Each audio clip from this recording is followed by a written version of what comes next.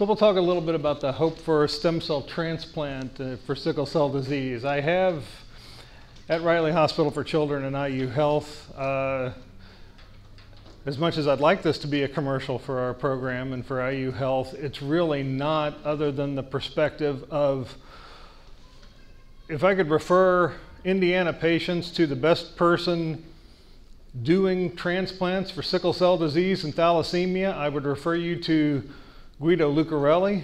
Unfortunately, for people in central Indiana, Guido practices in Rome. so, unless you are able to go to Rome for six months to a year to get your transplant, that's really not an option. So, I'm going to stick to things that we can offer locally or at least in the Midwest.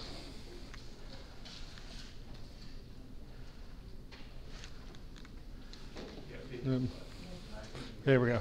So, one, one brief disclosure, just to be completely honest. Uh, I am the medical director of a local biotech company. We'll talk about a non exclusive, emphasis on the non. A lot of uh, industry and academic places are interested in cellular therapies. So there is a product that we've produced to use for transplantation, uh, but again, it's non exclusive.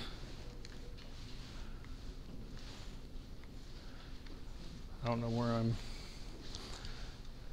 So I will provide an overview, overview of stem cell transplant for sickle cell diseases, why sickle cell should be considered for sickle cell patients, risks and benefits, and some new developments. And then again, an overview of some of these therapies that are available here in Indiana.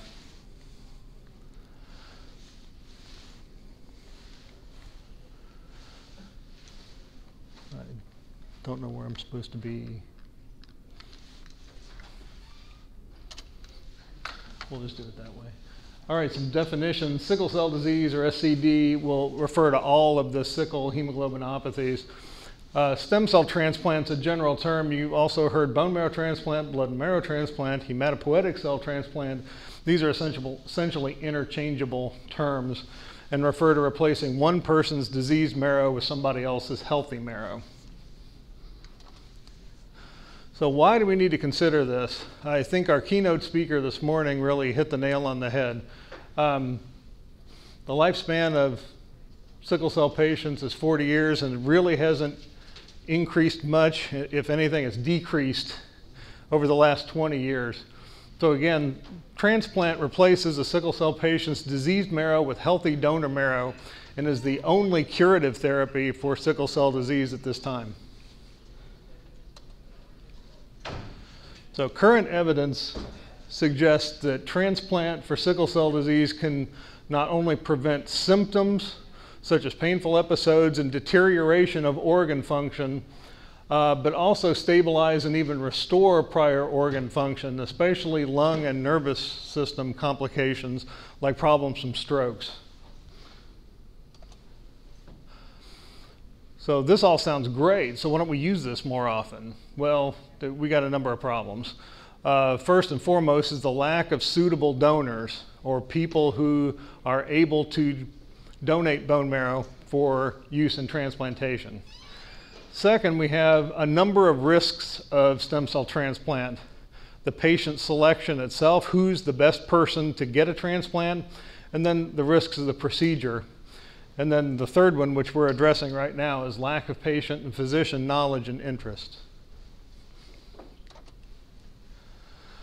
So, problem number one finding a suitable donor for a transplant. There's three main categories of donors you can use for a stem cell transplant. You can use a related donor, an unrelated donor, or in gray is a self donor. For the most part, donating for yourself, that would just give your own sickle cell disease back so that wouldn't be terribly helpful. However, I will mention at the tail end of the talk, gene therapy is an up and coming therapy for sickle cell disease, and that would use a patient's own marrow stem cells uh, for this procedure, so that, that may have a role in the future.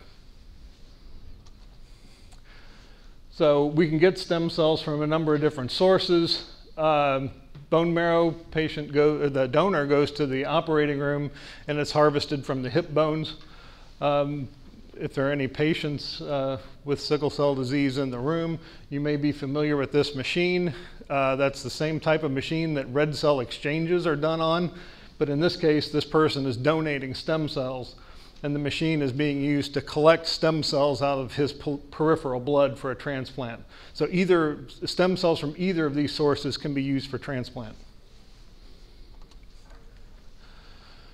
So family members are the best type of donors to use for a number of reasons.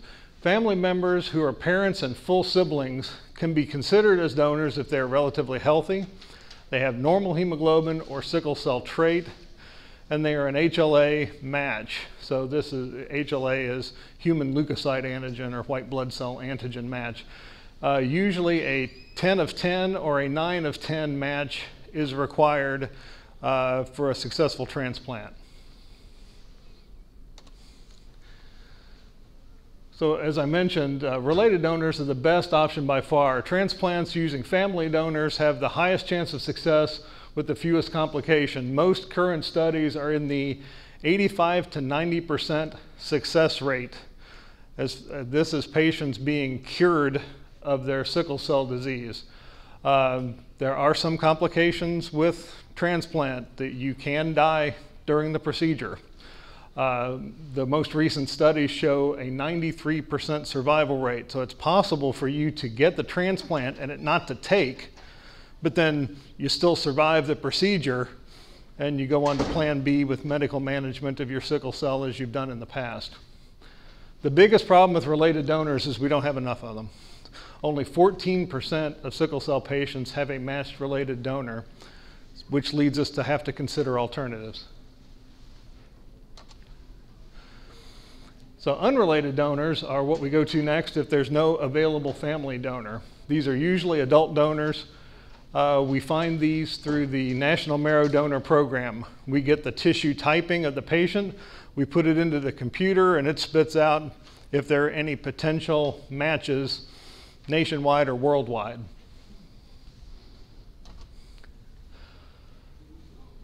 What are the biggest problems with unrelated donors? Well, first and foremost is you might not be able to find one. The person may not exist for your particular tissue type, or they may be out there in the world, but they're just not in the registry, so you're invisible to us. Another problem that seems to be more and more common in our practice lately is there's patients that exist, but they're not readily available.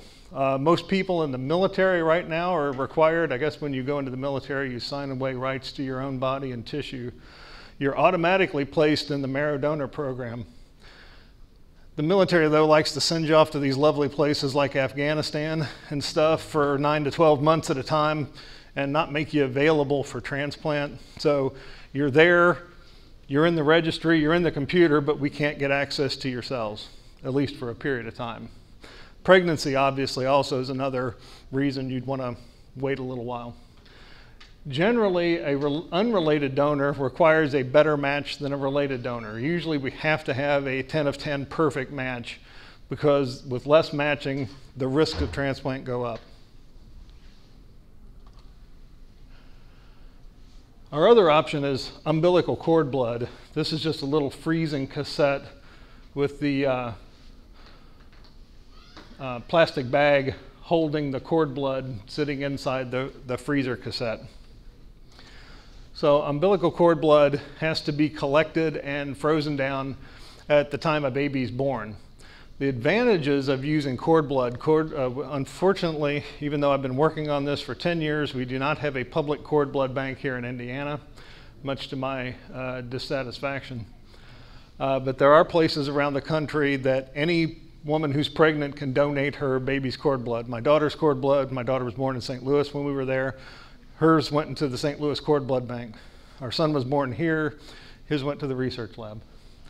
Uh, got, to use it somehow. Um, cord blood's advantages are it requires less stringent matching. We only do six antigen matching for cord blood, and a four of six, a five of six, or a six of six is acceptable for this. So its flexibility makes it more likely that you're going to find an acceptable cord blood unit to transplant your patient. It's available immediately when you want it. It's sitting frozen in somebody's freezer. All you got to do is have it FedEx to where you are so that you can use it. So, very available. It also has a lower risk of graft versus host disease. We'll talk about graft versus host disease more in a moment, but that's one of the complications of transplant. So, what are the disadvantages for cord blood? The main one is size. As you can imagine, especially you ladies who've had children or dads who've been in the delivery room, the cord's only so long and it's only got so much blood in it. Uh, finding, some, finding a cord big enough to transplant somebody my size, because you have to have a given number of cells per pound of body weight to make it successful. Uh, we'd have a real hard time transplanting me with a cord. I would have to find a marrow donor. Uh, some small petite lady, even an adult or a child, has a much higher chance of finding a cord blood unit that's going to work.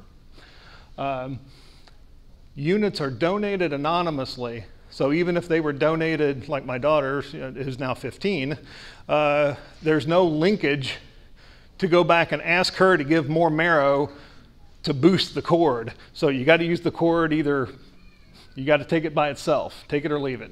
The only option otherwise is there are double cord transplants that are under investigation where you take two cord bloods mix them together to get a big enough cell dose to work for the transplant and use those. And we've used those a number of times and they can work quite well. Again, with a less close of a match, there are higher risk of complications, although it does still work in the cord blood setting where it wouldn't work in a marrow setting. There are a couple of experimental approaches that we don't use currently at Riley. Or, or um, there are a couple of protocols among our adult colleagues at um, University Hospital that they are using. We try not to use mismatched unrelated donors like 8 of 10 or 9 of 10 unrelated donors. The complication rate is just really high with them.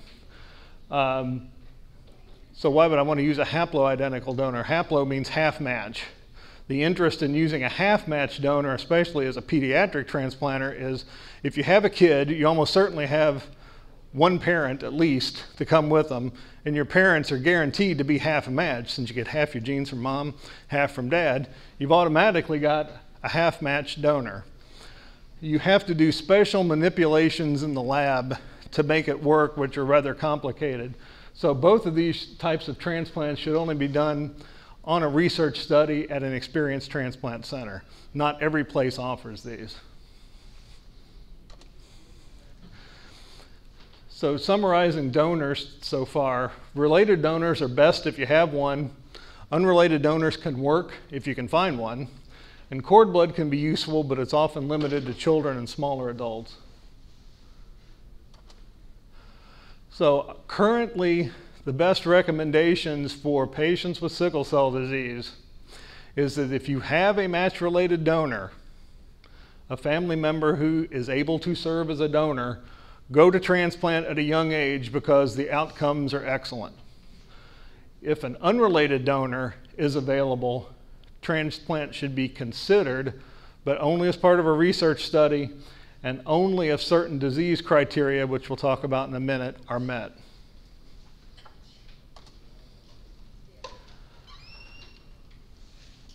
Problem number two, there are a lot of risks with doing a transplant. Some of these, you know, this is not an inclusive list, but some of these include identifying who's a good candidate, who are the right patients to get a transplant. Uh, poor engraftment, graft versus host disease, and the toxic, toxicity and efficacy of the conditioning regimen. We'll go through each of those individually. So, identifying good candidates. This is one of the biggest, hairiest, painful challenges in all of sickle cell. Uh, if you have leukemia and it's not responding very well to chemo, if you have uh, certain other types of malignancy, testicular cancer, which IU is famous for, it's automatically go to transplant because you've got your best chance of cure with this. Well, cancer is easy because if you don't treat it, you're going to die anyway. So you might as well take your chances on being cured, uh, as my colleague Kent Robertson likes to say. Your choice is death or maybe not death. Take your pick.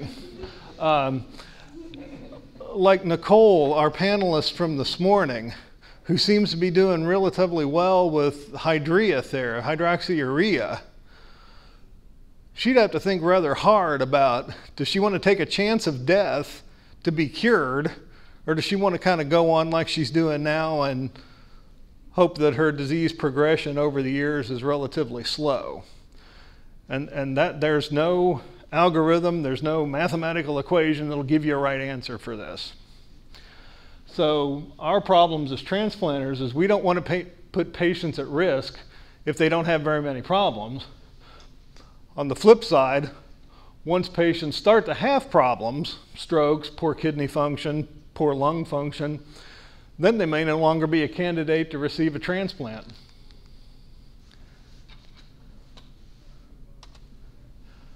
So our real dilemma with sickle cell disease is there isn't a test to predict disease severity. If we had two one year olds in front of us, there's no blood test, there's no scan, there's no anything for saying Johnny's going to have lots of problems, lots of painful crises, lots of hospitalizations, acute chests.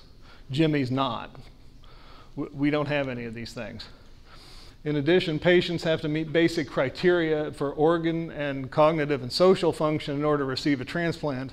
Dr. Hsu this morning talked about the patient uh, whose parents were about getting ready to be divorced about the time he needed his transplant. So you got to make sure these things are worked out. And again, many older kids and adults, because of the complications from their disease, are no longer good candidates for transplant. Sorry this is so busy, um, but it'll get the point across. This is from a review article by Shalini Shenoy, who's a uh, leader in the field of transplantation for sickle cell disease. If you have a matched sibling donor, look at the list below. Strokes, elevated transcranial Doppler velocities, acute chest syndrome, uh, vaso-occlusive events, uh, pulmonary hypertension, osteonecrosis or avascular necrosis, silent strokes, uh, kidney disease. Those are reasons to go to transplant if you have a matched sibling donor. The middle column is pretty much the same thing, but maybe a little bit worse. So, how do you pick between the two of them? That's what's really unclear in the field at the moment. To go to a higher risk transplant, like a mismatched donor transplant or a half matched haploidentical transplant, you know, recurrent strokes despite being on chronic transfusion therapy, uh, in, inability to take, uh, tolerate supportive care, like you're not able to get chronic transfusions because of alloimmunization, not able to tolerate hydroxyurea, things like that would prompt you to consider uh, a higher risk transplant. Again, the criteria for recommending a patient get a transplant is relatively fluid. It, it, it, there's nothing set in stone here. If a matched family donor is available, transplants recommended even in young children with few symptoms because they do really well. 90% of them are cured. Uh, high risk transplants should be reserved for patients meeting more stringent criteria, meaning more severe disease. But as usual, you ask 10 doctors, you'll probably get eight different answers for defined severe disease and that's where more dialogue between providers and patients are needed.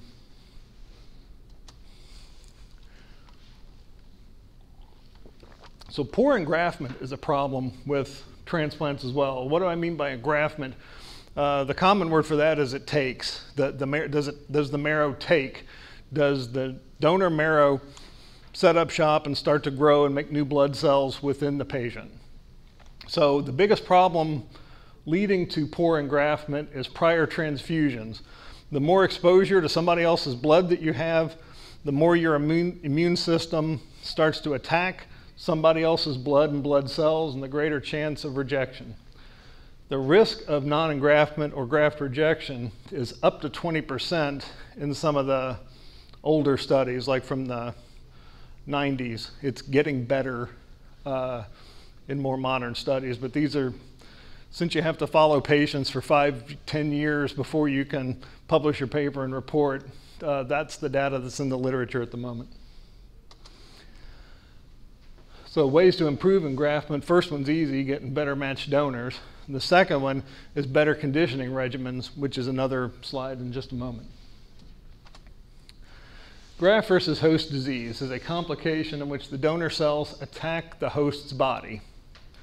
So even if you do a transplant from one brother into another brother, the two little guys are different on a, on a molecular level. The one brother's cells are going to see the other brother's body as a slightly different place from where it came from, and it could attack that and cause something called graft versus host disease. Usually, a skin rash, like the patient's red palms that I'm showing there, is the most common symptom. The gut can also be affected, causing vomiting and diarrhea, difficulty gaining weight. Uh, the liver can also be affected. Uh, pretty much any organ system can be affected, but those are the three that are the most common. It occurs in an acute form, defined as the first 100 days after the transplant. Excuse me. And a chronic form, which means after the first 100 days of transplant. For sickle cell patients, this is all bad. You may have heard things about graft versus host disease before. If you're a cancer patient, your donor cells can also see your cancer as doubly bad. Cancer patients who have a little bit of graft versus host disease have a lower rate of relapse. So you get some benefit from this. Sickle cell patients, you don't have anything to relapse from. You just need good red blood cells. So there's absolutely no benefit to a sickle cell patient having graft versus host disease in any form. In sickle cell patients in general, these are just numbers for all comers to transplant. 20 to 40% of patients get acute graft versus host disease, and uh, 30 to 60% with unrelated, that's with match related donors, 30 to 60% with unrelated donors. Chronic graft versus host disease that, that can last for years occurs in 20 to 60% of patients. And unfortunately, for us people with hair that's getting white, uh, graft versus host disease incidence increases with age. Another, another reason to take care of kids. So graft versus host disease is prevented by having a well-matched donor and with immune suppressive drugs. Graft versus host disease is by no means a death sentence. It's very often treatable. More than two thirds of the cases are successfully treated. However, it can be chronic, can be very bad, and contribute to a patient's death. So we would like to avoid it if at all possible. There's really nothing peculiar about sickle cell disease that makes it more likely to occur in sickle cell patients or makes it more severe. But the thing to, that I, as a physician, am mindful of is I don't want to trade one chronic disease for another. You've already got sickle cell. I don't want to swap your sickle cell for chronic graft versus host disease.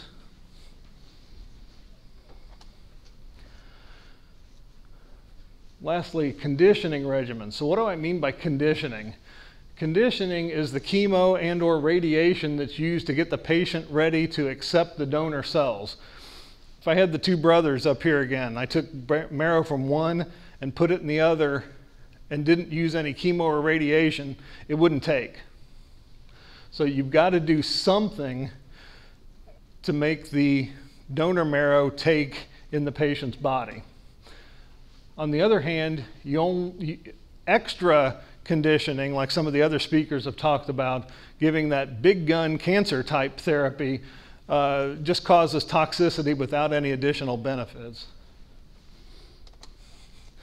So the goals of conditioning are to reduce the patient's marrow. You're more or less making space inside of their bones for the donor cells to go to and to start growing. You also want to suppress the patient's immune system to accept the donor cells and not reject the graft. And again, the big key is striking a balance between achieving those goals and excess toxicity. What are some of these toxicities? Uh, this uh, poor little guy here, all that white stuff, those are ulcers in his mouth caused by chemotherapy. So this is called mucositis or mucous membrane damage from chemotherapy or radiation. Uh, chemotherapy and radiation can cause end organ damage, uh, kidney, lung, heart. Uh, unfortunately, the same organs that are also affected by sickle cell disease. Uh, a condition in the liver called sinusoidal obstruction syndrome or veno-occlusive disease. Uh, again, sort of similar to the veno-occlusion that occurs with sickle cell. Hemorrhagic cystitis is bleeding from the bladder due to a side effect of chemotherapy. Uh, anytime you give chemotherapy and radiation, you're reducing the patient's white blood cell counts, putting them at high risk for infection, and then possibly infertility depending on the amount of chemo or radiation that's used. So lots of nasty side effects to consider. So again, for sickle cell disease, we want to use as little as possible. Sickle cell is not a malignant disease. It's not cancer, so we don't need huge doses of these drugs. And we have to also be mindful that the patients may already have organ dysfunction and not tolerate high doses. Uh, the published risk of death for sickle cell patients going through a transplant of dying in the first 30 days is about 10%. So it's not a trivial number. It's small, but it's by no means trivial. So as Dr. Hsu, some of our other speakers have mentioned, with a traditional bone marrow transplant, use what's called myeloablative therapy. This completely wipes out the patient's own marrow. Uh, that's good if you got leukemia, because you want to completely get rid of all those bad cells. But sickle cell is not leukemia. Uh, myeloablative therapy is highly toxic and, as I mentioned, sometimes fatal just getting through the treatment the benefit of giving myeloablative therapy is you've wiped out the patient's sickle cell marrow. The only thing that's going to be left after the transplant is the donor's good cells, good marrow that's going to make normal red blood cells. But the price is very high to pay with the myeloablative transplant. The, the hope for the future, and we already have evidence that this is far superior, is what's called non-myeloablative or reduced intensity transplants. These use lower doses of chemo and radiation. They have much less toxicity. And this works on a concept of that a mixed donor chimerism can be curative. Chimerism is just a Greek, Greek word, if you like Greek mythology. Chimera, that's like the uh, lion's head on a horse's body kind of thing. It's a mixture, like half and half. For many non malignant diseases of the blood, like sickle cell, as little as 25% donor marrow can be curative. So, the, patient, the patient's bone marrow, if we took a sample, sent it to the lab to see who's who, 75% of it's the patient's original marrow, 25% is from the donor, but when you look at their blood counts, they're making far more cells with normal hemoglobin there's, it suppresses the number of sickle cells, and the complications of the sickle cell disease are essentially gone. So you don't have to completely wipe out the sickle marrow in order to cure the disease. So there are, I won't bore you since I know there's, I'm the only transplanter in the room, uh, with all the arcane different uh, myeloablative regimens that are under investigation. It's too early to say that there's one best one. The one that Lucarelli uses is the, different than the one that's used in Chicago, which is different than the one that we use, blah, blah, blah. But there's a number that show great promise, and I'm going to give you a couple of examples. There's one apparent key drug that's really made a difference in the last several years. It's a drug called alemtuzumab, or the trade name is Campath. So I'll get a little bit scientific here on you. So it's a monoclonal antibody. So it's not even a chemo drug. It's an antibody, which is a natural protein, against a marker called CD52 on the surface of white blood cells. So it binds to white blood cells and causes them to die.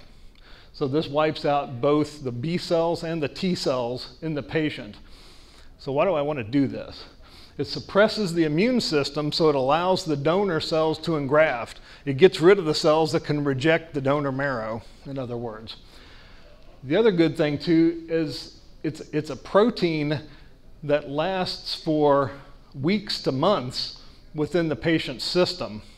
So it also gets rid of a bunch of the lymphocytes in the donor marrow once we do the transplant, and it reduces your risk of graft versus host disease. So it's doing double duty. Helps the donor marrow to get in and to take, and reduces the complication once it's in there. So this has really made a big difference for transplantation. Too bad Dr. Hsu had to leave. This is one of the patients he was talking about in that Chicago study by his adult colleague. Uh, I just I did not talk to him before the conference and arrange for this, but I just kind of found it on that uh, wonderful uh, medical journal ScienceDaily.com. So this is a I think 35 year old lady uh, with SS uh, disease. She had her first episode of dactylitis when she was eight months old. Uh, she did not have a matched family donor. She didn't have a huge number of complications until she became pregnant and had her daughter. That's her daughter kissing her. Since having her daughter, she's been in and out of the hospital for the last 15 years. Uh, her only wish was to be home day and night with her daughter and stop having to go to the hospital all the time. So she enrolled on this study in Chicago getting a transplant from an unrelated donor. The study that's going on in Chicago that Dr. Hsu mentioned before and that this lady got was based on this preliminary study from the National Institutes of Health outside of Washington, D.C. Uh, and it was the first case of using non myeloablative transplantation for sickle cell patients. So the conditioning regimen for this was using five doses of alemtuzumab, this Campath drug that's a protein, it's not even a chemo drug, remember, and 300 centigray or 300 rads of radiation. Normally we give 12 to 1400 centigray of radiation for, like, say, transplanting a leukemia patient. If you are getting radiation to your bowel or breast or something like that for cancer, you'll get between two and 5,000 rads. So 300 is a pretty, pretty weeny dose in the radiation therapy world. So the purpose of both of these two treatments, again, the alemtuzumab was to get rid of those lymphocytes to reduce graft rejection, to reduce graft versus host disease, the little dose of radiation was used for further immune suppression and to kind of make space within the marrow to, for, so the donor cells have somewhere to go. So they looked at 10 adult sickle cell patients. All 10 of them survived at least two and a half years after the transplant. Nine out of 10 engrafted. So the one person who didn't engraft their own marrow grew back because this was not myeloablative. It didn't completely wipe out their own marrow. The donor cells didn't take, but their own marrow grew back. So the worst thing that happened was they probably spent a month in the hospital and ended up where they were beforehand, which not great, but not the worst thing that can happen either. No patients in these 10, or out of the nine that engrafted, developed graft versus host disease. So this was groundbreaking because this is the kind of numbers that we've gotten with kids getting transplants from a sibling. So th- this, was, this is unheard of in the adult world. Really great stuff. So a lot of different places are using this transplant regimen now. I think Dr. Hsu said they've treated 25 patients in Chicago, and 24 of them have been grafted. So very similar results, just phenomenal. Uh, in pediatrics, we've taken a little bit different tack. Um, used alemtuzumab again, same Campath drug. Used fludarabine, which is another drug that wipes out lymphocytes.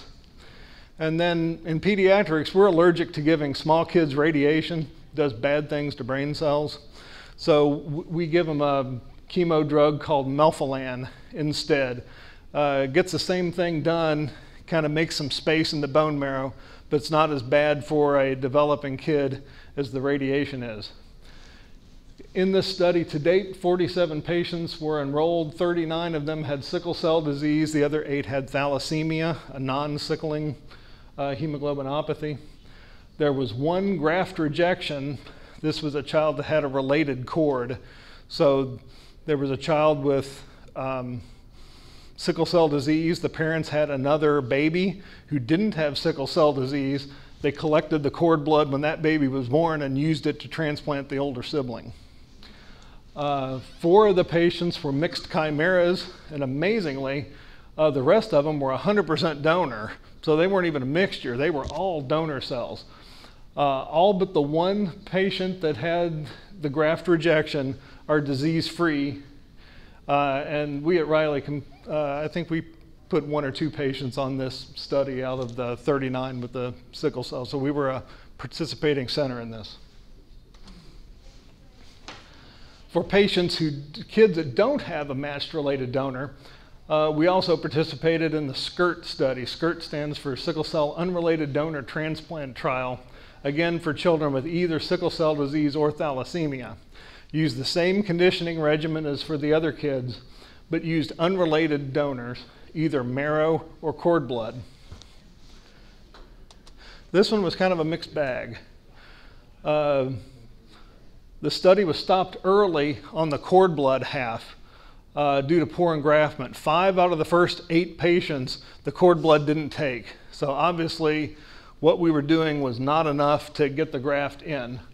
Uh, and that portion of the study was uh, published in Biology of Blood and Marrow Transplantation two years ago. Uh, the marrow arm of the study, on the other hand, did much better. Uh, it's almost reached its accrual goal, and uh, a paper will be written on it um, very soon. But because the cord blood didn't work very well, the uh, main drivers of the study wanted to try to get better engraftment with the cord blood, so they started a new study called EARTH. I think it's unrelated transplant with hydroxyurea. So, one of the things that they did to improve this is they added hydroxyurea for a month before transplant to improve hemoglobin and, and uh, take advantage of one of the side effects of hydroxyurea of the myelosuppression or knocking down your blood counts, since you're going to do a transplant anyway. And they also added thiotepa, which is another chemo drug, to the melphalan in order to make some more space and increase engraftment. So 28 uh, patients have been enrolled to date with a goal of 40. Most of these are sickle cell patients.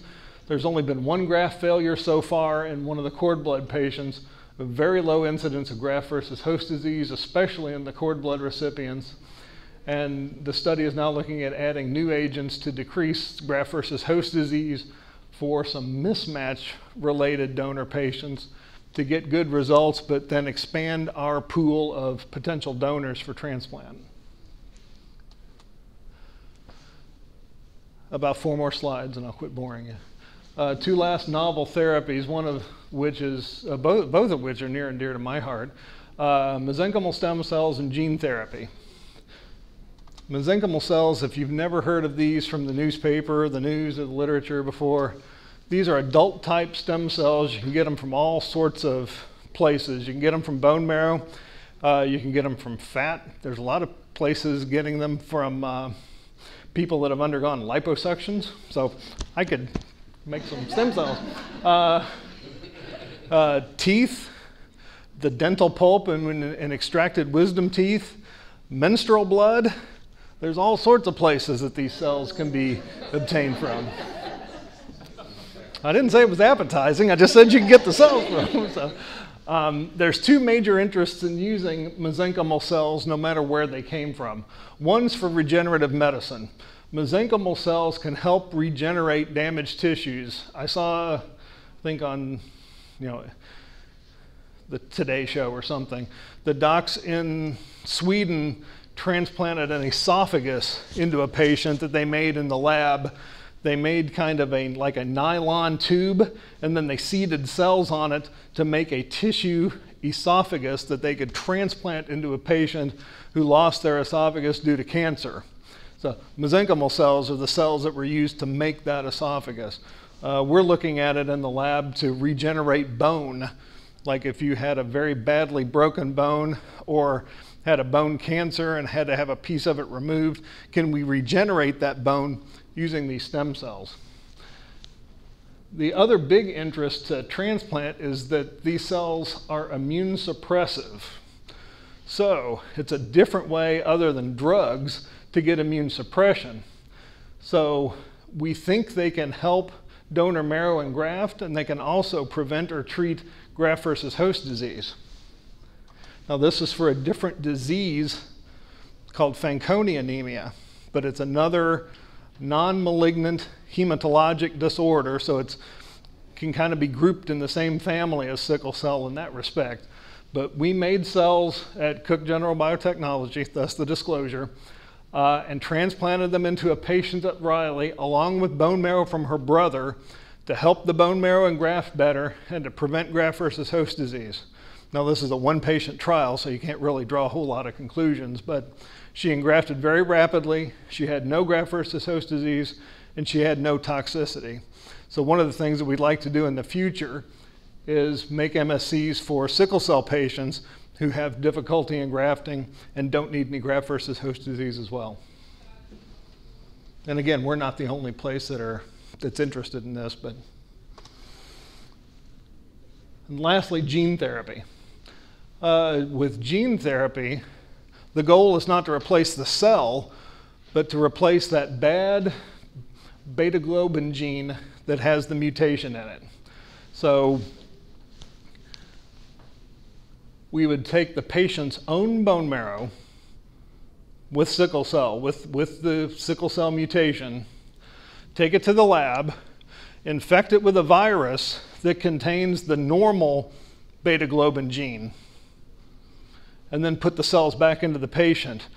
The virus containing the normal gene will start making normal hemoglobin and fix the patient's own cells.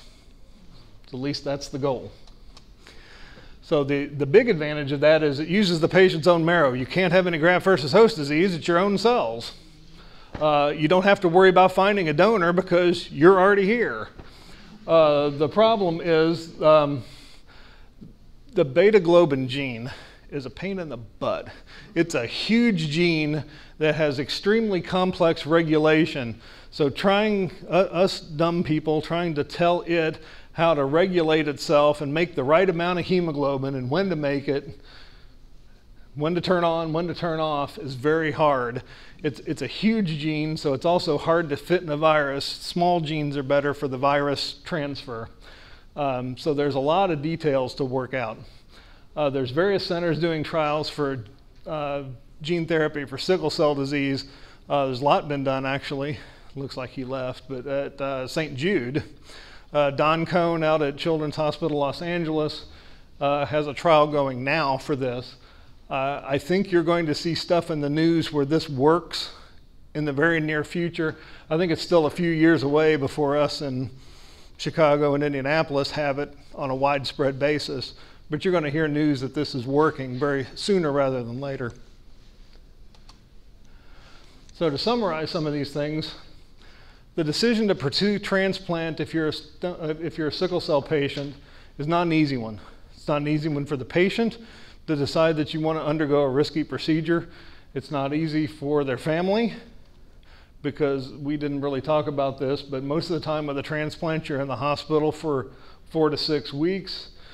Then, if you're a child, we keep you out of school for six months to a year while your immune system recovers. If you're an adult, you have to go back to work because somebody has to work and pay the bills, and you're on your own to do the best you can to stay infection free and away from other people. Uh, it, it's a challenging period of time. Uh, it's not easy for the physicians either because we don't want to give you wrong advice. And like I mentioned with the graft versus host disease, the last thing we want to do is swap you one chronic disease for another one with graft versus host disease or say, oh, yeah, you got a 90% chance. There's nothing that makes me feel worse. You got a 90% chance of doing good.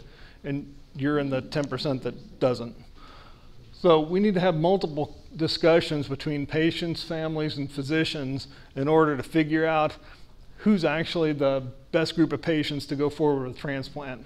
So it's good to discuss options with your transplant team uh, early on uh, to at least establish a rapport and talk about these things. As I mentioned, the lack of markers or tests to predict uh, who's going to be a bad actor uh, really hampers us with transplant for sickle cell disease. And uh, I'm, I'm not aware of that coming to an end anytime in the near future. Uh, there's also a lack of consensus on who to transplant and at what time. The lack of suitable donors still is a problem. And then there's the risks to consider of the transplant itself. So once again, I, this is the same slide as before. Current recommendations would be if you are a child, with, especially a child with a match-related donor, go to transplant sooner rather than later. Don't wait to have a bunch of complications because you got a 90% chance that that child's going to be cured of their sickle cell disease. And the younger you do it, the better chance they have. If an unrelated donor is available, you should think about it if you meet the certain disease criteria in that very busy slide that we showed before and as part of a research study if at all possible.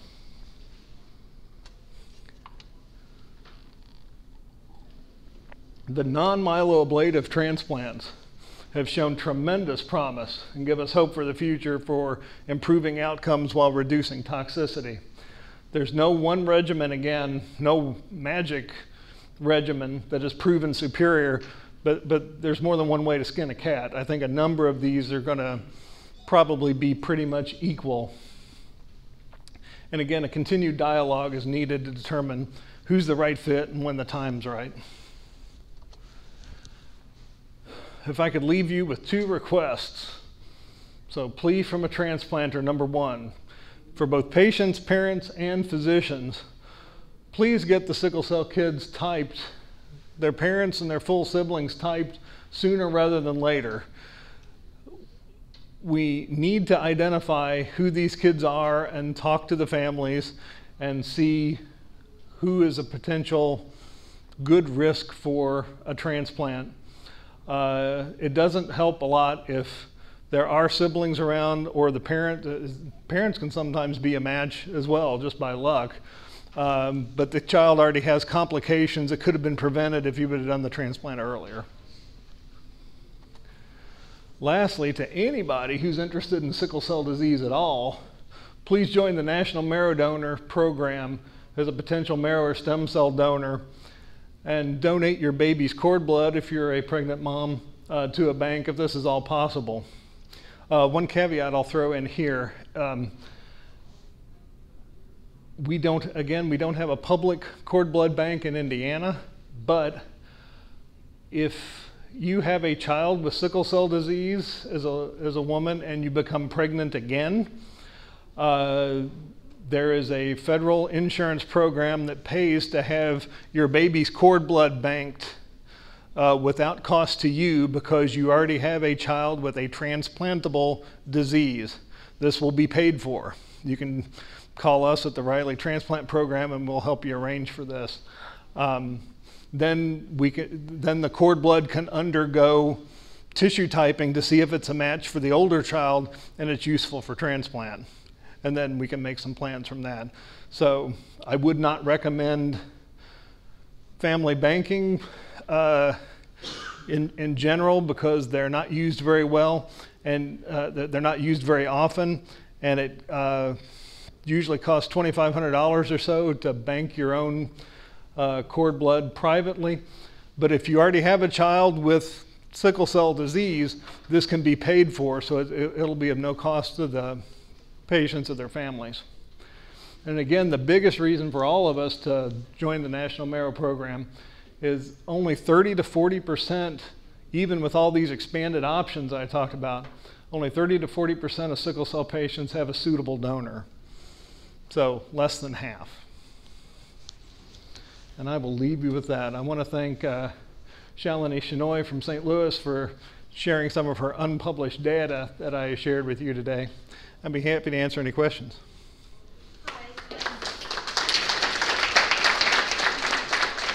I just want to say I'm Angela Tussell. I'm with be match, part of NMDP, and have a table right out in the hallway. So I'm answering. Please go see Angela right after this. Yes. So easy to sign up, and you could make a difference in someone's life. It's just filling out a form and doing a cheek swab.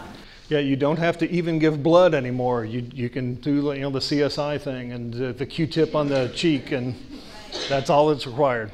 You never have to give marrow itself until you're actually giving it for the transplant.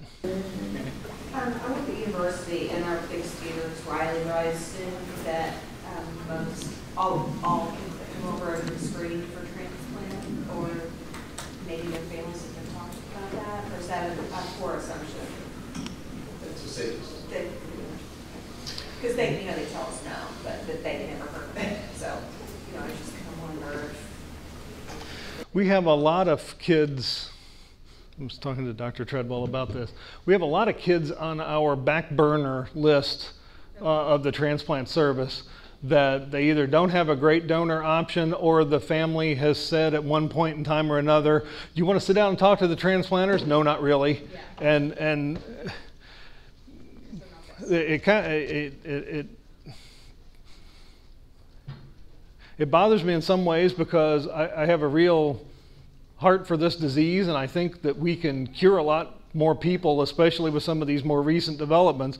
But at the same time, it's hard to convince.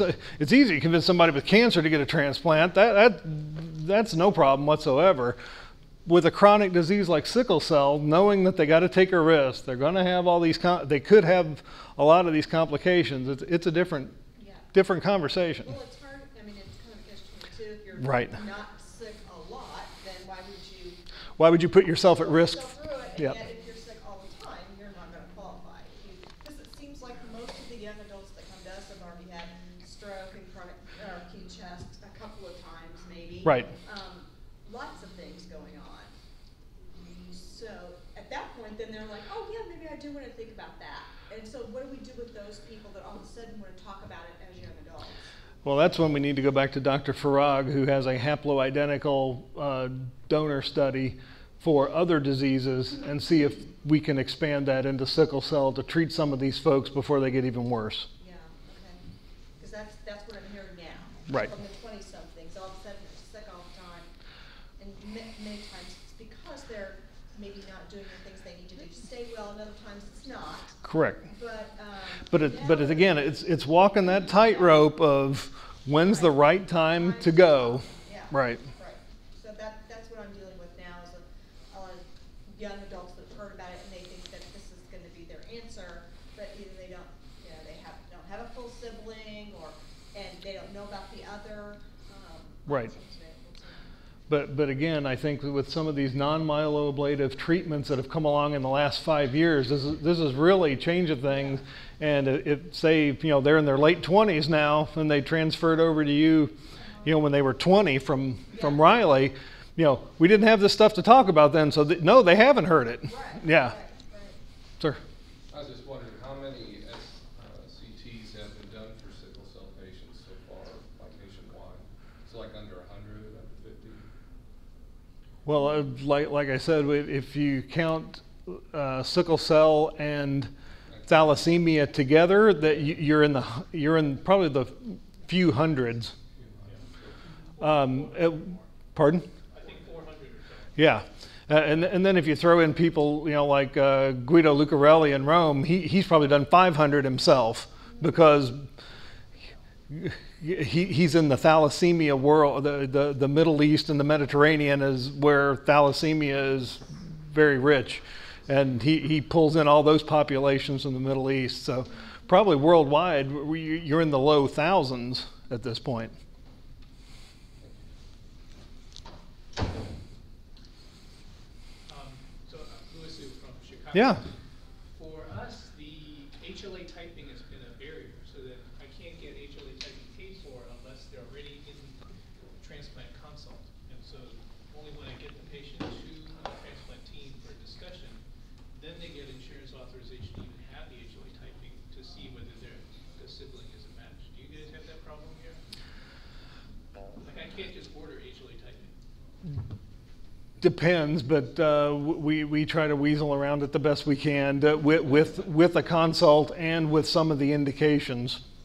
Um, but no, that, that remains a huge problem because it's probably $1,500, $2,000 to do HLA typing, and you certainly don't want to stick a family with that bill if insurance says, well, you haven't jumped through the right hoops to cover it. So it, it, it is a problem.